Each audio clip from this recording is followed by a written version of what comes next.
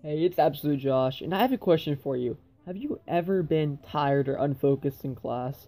Well, at one point in my life, I was the same way. However, coffee has drastically improved my concentration, attention span, and productivity. Some may be unable to drink coffee for some reasons. Being their authority figure says otherwise, or as a good friend of mine, you may be tired from caffeine, ironically.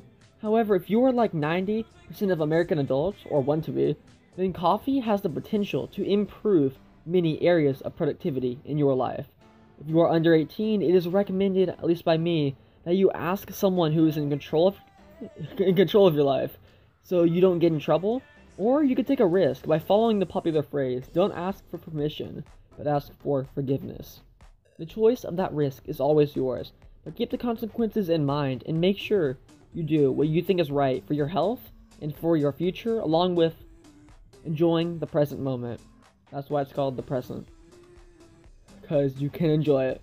But coffee is a drug, technically. However, is obviously legal, or you probably wouldn't have heard of Starbucks. So, if you want to increase your productivity, concentration, and the chance at better grades, I don't know, my voice is all weird today, puberty, but then go grab a cup of coffee and try it out for a week.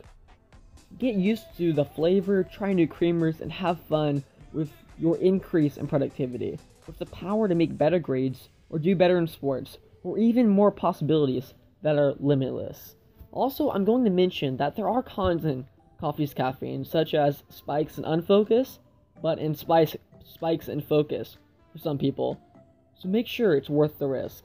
Do your research to make sure that this is right for you personally, but know that your life degrade or improve drastically depending on how your body reacts to caffeine. Thanks for watching and have a great day. If you enjoyed or have something new to keep in mind, a like below would be greatly appreciated.